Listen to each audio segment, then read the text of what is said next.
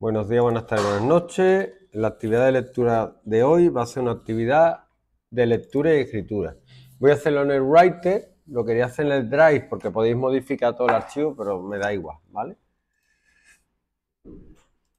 Entonces, os podéis acercar un poquito, no os tenéis que quedar ciegos. La primera historia es el dinosaurio de Augusto Monterroso, que si no sé si lo habéis visto, pero los libros de literatura españoles, lo que estudiáis ustedes dicen que la historia más corta jamás creada, mentira.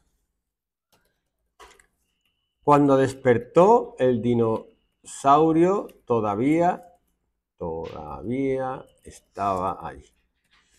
La más corta que se creó antes es la llamada de Frederick Brown, que un, sobre todo hizo novela de misterio, no, de, de policía, policíaca y de ciencia ficción.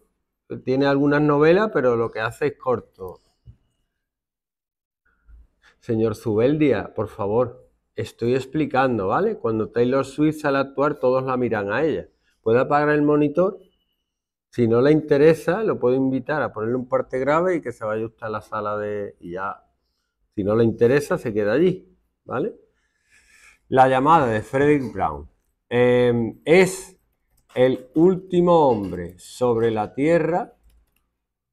Estaba sentado solo en una habitación. Obviamente estaba solo. Se oyó un golpe en la puerta. Es que la traducción eh, se oyó un golpe en la puerta, pero sería mejor alguien llamó a la puerta. Es que claro, there was a knock on the door, hubo un golpe en la puerta, alguien ya está suponiendo que es alguien, que es una persona. Yo traduciría también quien quiera traducir. Es que ya el chat GPT te traduce. No entiende lo que yo estoy diciendo. Él va a traducir de cosas que ha visto de traducir, pero no va a entender que, que hay una denotación distinta una connotación distinta entre decir se oyó un golpe en la puerta y alguien llama a la puerta. ¿Vale? Aquí hay Giri, ¿no? There was a knock on the door. Se oyó un golpe en la puerta. Y además el sentido es distinto. Es que ya. Esto, todo esto tiene su. Profe, tú eres escrito que no hace falta, que yo leí un montón.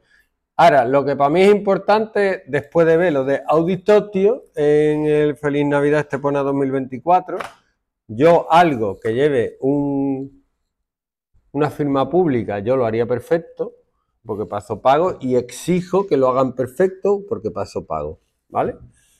Pago impuestos. Entonces, el que lo haga, espabile.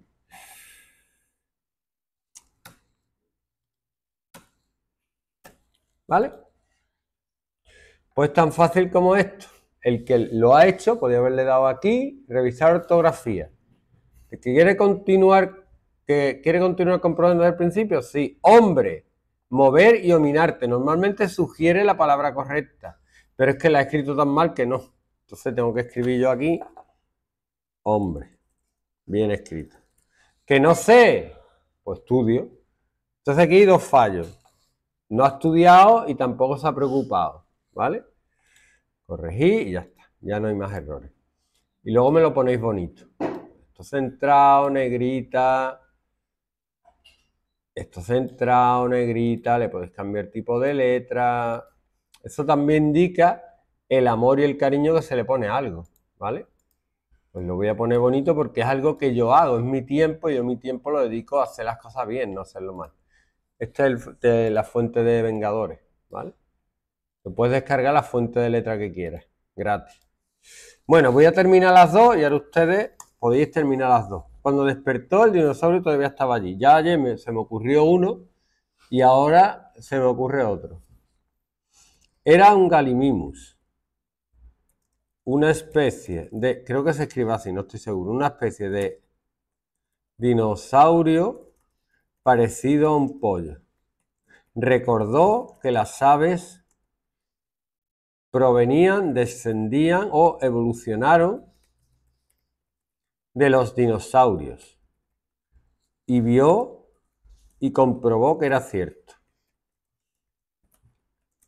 Aunque en los dibujos y películas que había visto, estos dinosaurios no tenían plumas, este Gallimimus tenía unas protoplumas. Proto es prototipo, antes de la final, protopluma es una especie de pluma, parecía las plumas antes de las plumas. Entonces, la reproducción de los dinosaurios, dicen, vale, que Velociraptor, es que a lo mejor tenía pluma, dicen los que saben. Entonces las películas salen sin pluma los, los tiranosaurios, pues que a lo mejor tenían plumas. Tú te imaginas un pollo de 10 metros de alto con pluma. Y ya no da tanto miedo, o a mí no me da tanto miedo. Tenía unas protoplumas. Después de perder el reloj que le iba a permitir volver a su tiempo, el 2025, al menos tendría alitas de pollo para cenar. ¿Vale? Cosas que hay que hacer con esto. Pues hay tres cosas. Bueno, primero la ortografía es fundamental, pero si queréis que quede medio bien, hay otros documentos del ayuntamiento que yo los veo así y me, y me llevan los demonios porque esa persona no ha aprendido o no tiene interés en justificar el texto. Darle aquí para que quede alineado y quede bonito. No tiene ningún interés en poner sangría, no tiene interés en hacer las cosas bien, ¿vale? No cuesta nada hacer esto. ¿Y qué era lo otro? Pues si quiero que me ocupe un poquito más, interlineado. Esto no pone aquí espaciado el interlineado. Esto no es necesario, pero tampoco es necesario meterse en Instagram todo el día y la gente lo hace. ¿Vale? Entonces, cuando me dices que eso no hace falta, digo, bueno, tampoco hace falta que te metas en Instagram. Y lo haces, ¿no? Te tira tres horas al día en Instagram. Entonces, vamos a hacerlo. Me llevan los demonios. No, es que no, es que no, tío. El último hombre sobre la tierra estaba sentado solo en una habitación, se dio un golpe en la puerta. Yo tengo dos. Perdona, Alba. Ya. No se habla. Estoy explicando, ¿vale? No se habla. Ya está. Yo no sé qué parte no entienden. No se habla. El nombre queda en el vídeo. Es que me da igual, denúnciame. Denúnciame el vídeo, llama a la inspectora, llama al directo a quien quiera. Ya está bien, no se habla, es fácil. Cuando eBay está haciendo un vídeo de grefo de eso, nadie sale al lado detrás hablando. Entonces, yo que hago algo importante, espero el mismo, por lo menos el, mismo respeto, ¿vale? El mismo, no más, sino el mismo.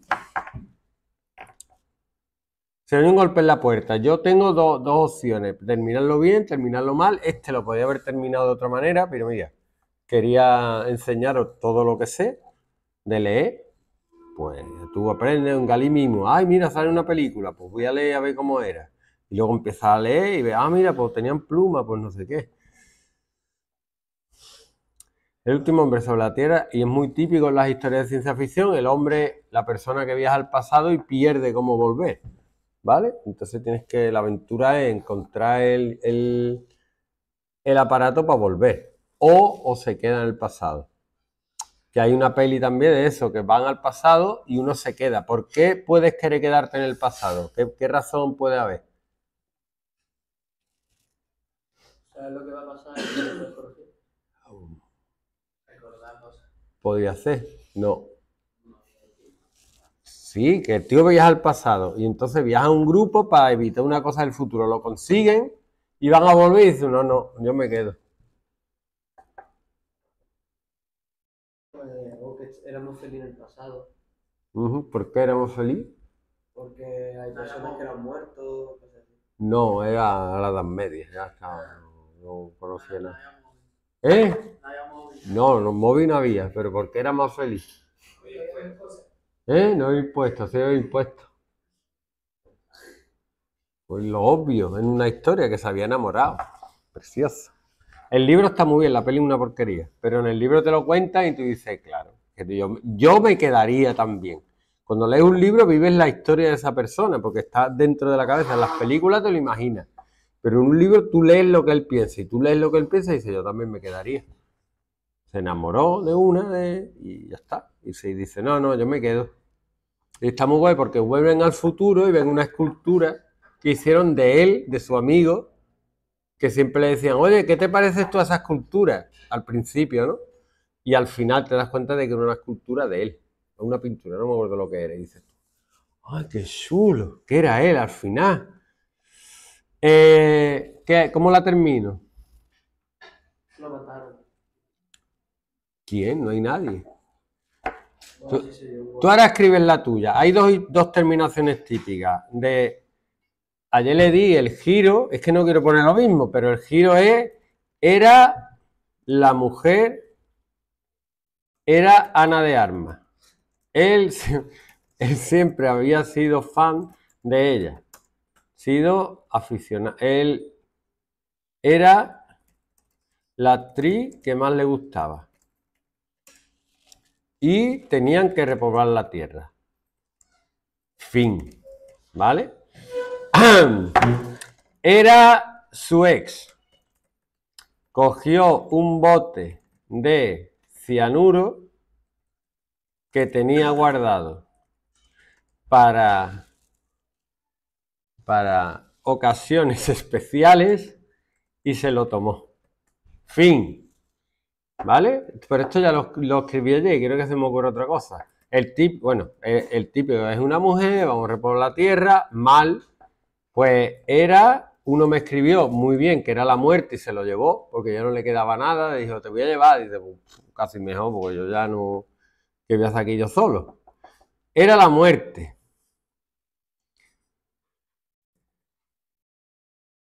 Al fin y al cabo, es una mujer. Pensó él. Y repoblaron la tierra. Otro giro. No hace falta escribir mucho, pero si quiero un giro, que, que sea algo que tú no te esperas. Pensó, está mal escrito, mira lo que me cuesta. Si le dais el botón derecho, lo podéis corregir.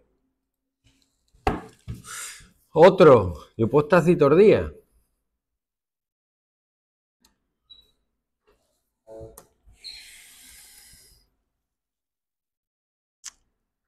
Era Henry Cavill.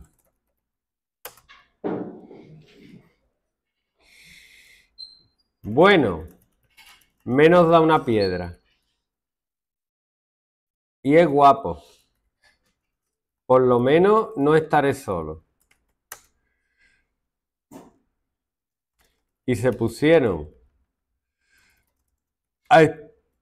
y se fueron a, al hospital de Ponte, Pontevedra. Donde habían escuchado que estaban investigando la clonación. Se clonaron, pero se cambiaron, pero cambiaron el sexo de sus clones a femenino y repoblaron la tierra. Se liaron mezclado, ¿vale? O sea, no, ¿tú te liarías con tu versión femenina? No, vamos a hacer la mezcla. Pues, no sé. Y eso, pregunta. Primera pregunta. Si, si lo último que quedara fuera un hombre, ¿tú qué harías? Chicos, o si fuera una mujer y fuerais mujeres, ¿qué haríais? Primera pregunta. Me van a hacer por decir esto, me da igual. Primera pregunta, a ver si soy homófobo o homófoba, ¿vale?